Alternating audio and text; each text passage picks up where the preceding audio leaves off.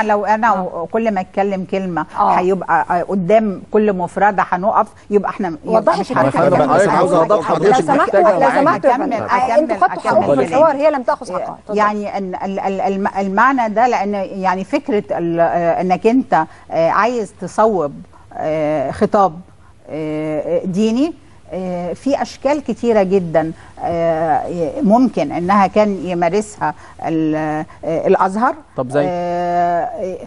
يعني ربما تكون آه، أكثر آه، يعني تاثيرا زي إيه؟ وأهمية يعني أنت ذكرت إن ممكن في مناهج التعليم في ال- في في, في ده قلت قلت إن إن, إن في عندنا بروتوكول بين زي. زي ما في في. الإعلام زي ما حصلت إش- آه، إشارة إن فيه برامج كانت ذات أكثر تاثيرا وخطاب يعني أكثر. اتساعا كان موجود في في, ال- في الإعلام أكثر يعني من وموجود من يا فندم على فكرة. النزول للناس في الشارع دي آه، يعني فيها نوع فكرة خطرة فكرة فيها فيها تمييز آه، فكرة فيها نوع من ال- ال- الهيمنة الدينية فيها نوع من المحاصرة يعني أنا أذهب إلى ال- الدين باختياري هذه حرية وحضرتك في آه، المترو لن تذهبي إلى لجنة الفتوى إلا باختيارك الشخصي. هو حضرتك متخيل ان الشيخ بيجي يقول بمناسبة لحضرتك سؤال؟ لجنة الفتوى آه، الإلحاح إنتوا. بتتكلموا يا فندم إنتوا بتتكلموا. إنتوا بتتكلموا بس عن لجنة آه، الفتوى لكن ما بت- بتغفلوا الإطار- البروتوكول اللي معمول. هناك وعاظ متجو متجولين حي- هيطوفوا في فين يا فندم البروتوكول؟ ده دي حضرتك اديني نص البروتوكول. أنا النص ده يعني قرياه حضرتك شفتي ده يا فندم في المترو؟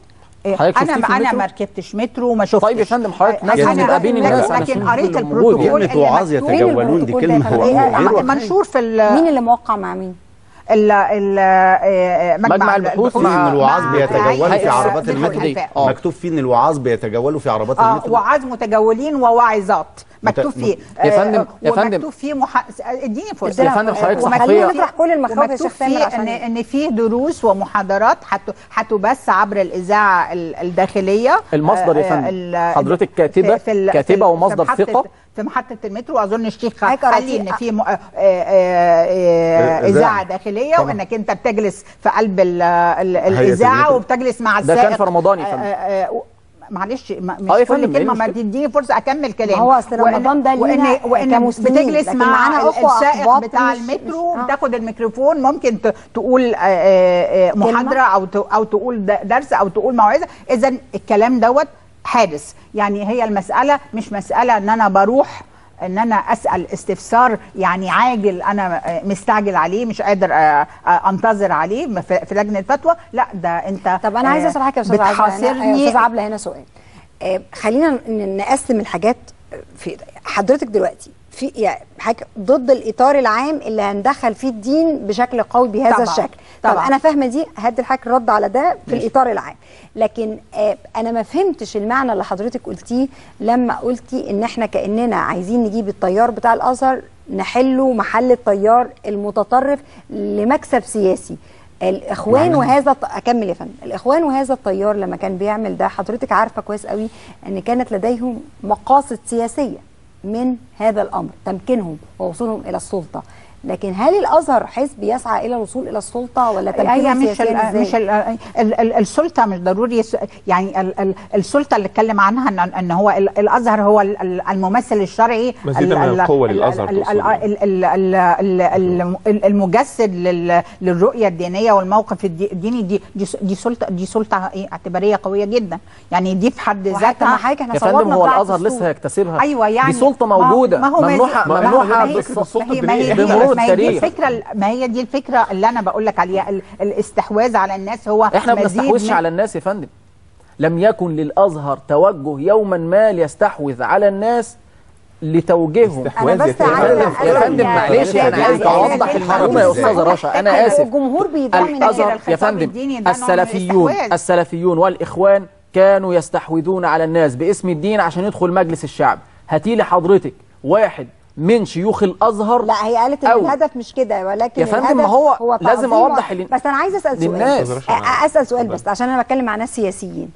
إحنا مش عندنا في الأز- في ال- في الدستور بتاعنا اللي إحنا صوتنا عليه مواد خاصة بالأزهر؟ تمام. صح؟ طبعا. أكمل بس يا فندم. اتفضل.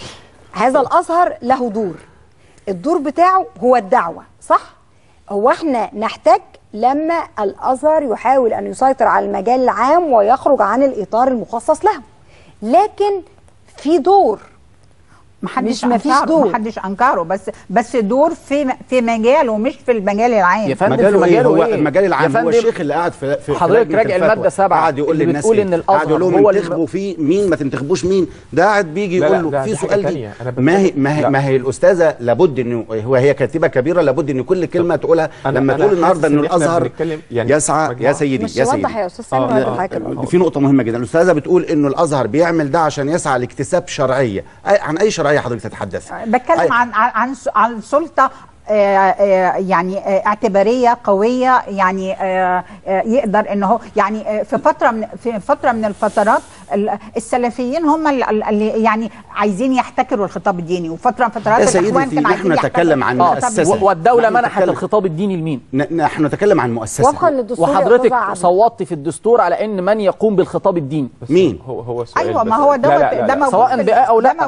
لكن هذا. اختيار هذا اختيار الشعب وهذا هو الواقع اللي موجود في ناس على المستوى الشعبي يا فندم في ناس تعرف جيدا في ناس تعرف جيدا ما الذي لا تريده أما ما الذي تريده ما تعرفوش. طب يعني يعني م- وأظن م- المداخلات خليني يا فندم محدد مداخلات الناس يا أستاذة رشا. بنعم أم لا؟ عشان أنقل لأستاذ سامر وحقه في التعقيب. أستاذ عبلة حضرتك أنا عاوز آخد جزئية بس صغيرة النهارده. اسمحي لي إن هي تبقى قضية نوعية صغيرة. أي. حضرتك الفكرة نفسها وجود كشك إذا أنا ما احتجت كراكبة أروح ألجأ له أسأل على حاجة أو ما أسألش حضرتك ضد الفكرة؟ آه أنا ضد ضد ضد فكرة وجود آه، آه، مكان آه، آه، ديني في في. في في- بالظبط طيب